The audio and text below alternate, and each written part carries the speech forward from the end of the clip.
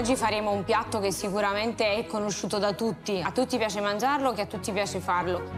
Credo che sia sicuramente un piatto che si faceva anche a casa tua. Assolutamente, si faceva tutti assieme e mm, ci divertivamo un sacco. Prepariamo gli gnocchi di zucca e patate con erbe aromatiche. Per 4 persone servono 500 g di patate, 500 g di zucca, 250 g di farina, 150 g di pecorino, un uovo, uno spicchio d'aglio, timo, maggiorana, salvia e rosmarino, sale e olio quanto basta. Allora Eleonora, pronta a fare questi gnocchi? Prontissima a mettere le mani in pasta. Ok, in genere da noi si facevano sempre a casa della nonna, gli gnocchi erano il pranzo della domenica, ma con il ragù napoletano. Anche da noi si facevano quando era festa e insieme alla mamma e a mia sorella ci mettavamo lì e ci divertivamo un sacco. Con il ragù trevigiano, che non è sicuramente il vostro. Questa allora è l'alternativa di medio, perché sì. non è il mio ragù né il tuo, ma è un piatto del monastero. È un piatto del monastero. Io e Eleonora giochiamo spesso sul nord-sud, sulle nostre differenze culturali e specialmente culinarie. La cucina diventa un po' il nostro campo di battaglia per sfidarsi a chi fa meglio cosa, cosa vale di più, cosa vale di meno. Ma lo facciamo anche per evidenziare che nonostante ci siamo abbiamo delle diversità, possiamo comunque vivere insieme ed essere affiatate come comunità e anche come consorelle. Questa è la mantovana, ottima per questo tipo di ricetta. In effetti ci vuole una zucca per ogni ricetta. Mm -mm. Un aneddoto simpatico è che ha questa forma no, che sembra quasi un turbante e viene chiamata il cappello del prete. Te lo immagini al donno con questa zucca in testa?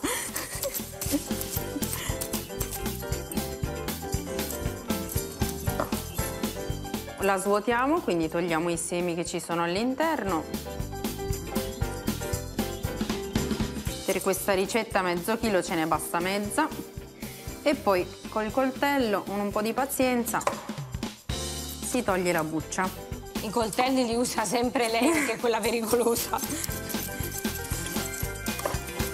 Noi abbiamo tante zucche, per poterle utilizzare tutto l'anno facciamo anche le marmellate e le abbiniamo ad un frutto.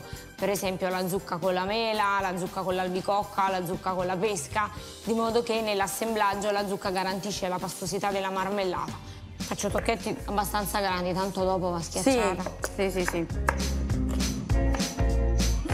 Ecco qui, anch'io ci sono, ho finito okay. di pelarla.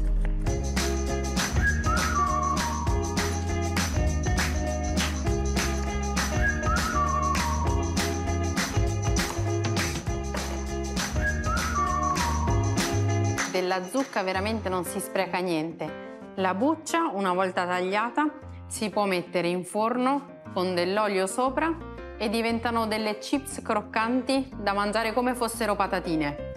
E inoltre i semi, fatti lavati, asciugati, anche questi si possono mettere in forno con del sale sopra e diventa un, anche qui uno stuzzichino salato da mangiare. A Napoli si chiama Uspas. Uspas? Sì. Eh, allora andiamo a Spasso, va. Prima la patata. Uh, ok. Questa viene la zucca.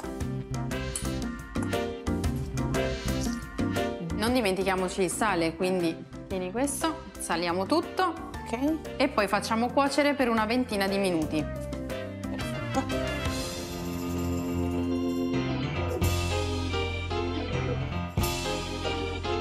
Bene, è terminata la cottura delle nostre verdure, le abbiamo fatte scolare e le abbiamo anche lasciate un po' raffreddare, in modo che poi quando li lavoriamo con la farina e tutto, eh, assorbono meno, meno farina, quindi si lavorano un po' meglio. E inizio io adesso a schiacciarli.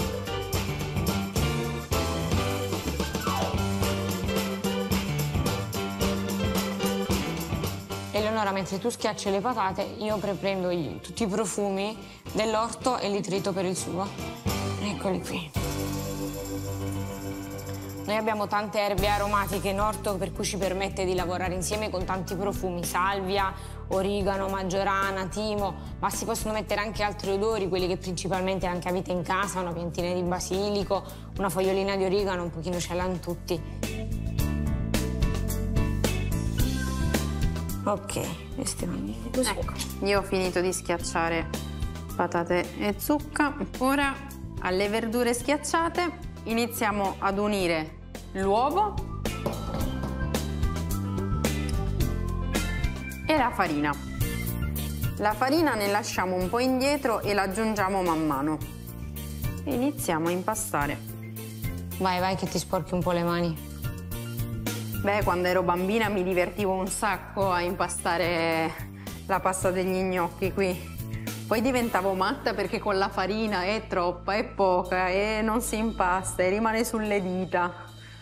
Con gli gnocchi bisogna sempre stare attenti alla farina perché la patata assorbe la farina in continuazione, quindi più se ne mette e più la patata è come se lo richiedesse, quindi bisogna stare attenti a non cedere in tentazione e mettere il giusto, quindi quel tanto che basta per far diventare un composto omogeneo, ma non troppo duro, non troppo solido, deve rimanere morbido. Sai Ele, nel momento degli gnocchi, quando andavo a casa di mia nonna, una delle cose che mi piaceva fare è rubargliene sempre uno di nascosto mentre li faceva crudi, perché mi piacevano tantissimo. E mia nonna diceva sempre, eh Loca, sta arrivando... Eh? Cosa che diceva? Eccola che sta arrivando. Eh. Eleonora, allora mentre tu continui l'impasto, io porto i miei profumi in una padella con un fondo di filo d'olio di oliva extravergine e li lascio leggermente soffriggere. Quindi mi avvicino, metto prima l'olio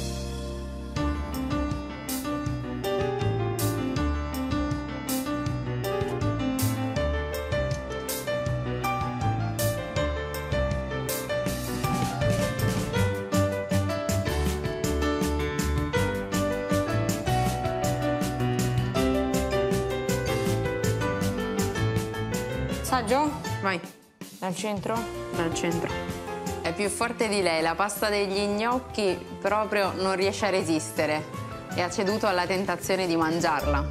Ele, ma quando facevi gli gnocchi con i tuoi, ognuno aveva un compito, come facevate? E a me piaceva tagliare e fare i gnocchetti. Mia mamma invece era l'addetta alle striscioline Ok. e mia sorella faceva le righine con la forchetta. Ah, ecco, bene. E mo cosa facciamo? Io le striscioline e tu tagli o il contrario? No, ognuno si fa la sua strisciolina. Così vediamo chi la fa meglio. Ah, ok, è una gara allora. Sana competizione.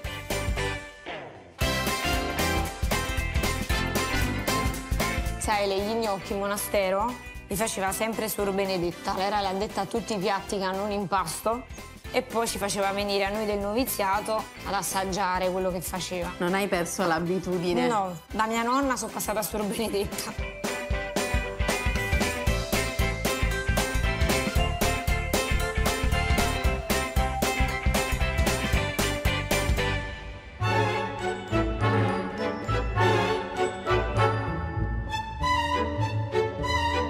Adesso che abbiamo terminato di mettere i nostri gnocchi sul vassoio la nostra acqua sul fuoco precedentemente salata in ebollizione, andiamo a mettere gli gnocchi su. Andiamo. Ecco, aiutami anche tu. Tienimi tu il vassoio che così io li metto meglio con due mani. Ecco qua, mi faciliti il lavoro. Sai come si capisce quando gli gnocchi sono pronti? Quando vengono a galla. Ah, ecco. Altra cosa è di non buttarli tutti insieme ma un po' alla volta, altrimenti può finire che si attacchino. Eccoli qua. Perfetto. Ecco Eleonora, sono venuti tutti su a galla. Adesso rialziamo la famma alle nostre erbe e mettiamo direttamente gli gnocchi appena scolati dentro il nostro sughetto.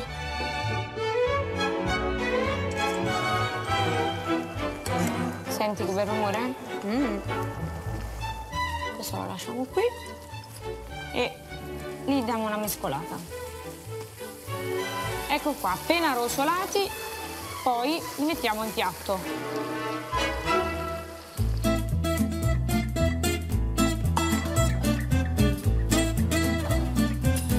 Mamma mia, che profumo di erbe.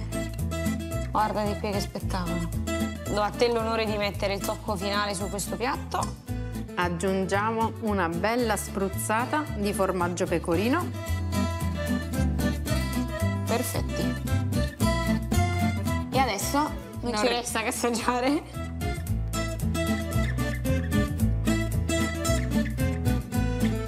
Buonissime. Suor Benedetta sarebbe stata fiera di noi. Assolutamente, fierissima.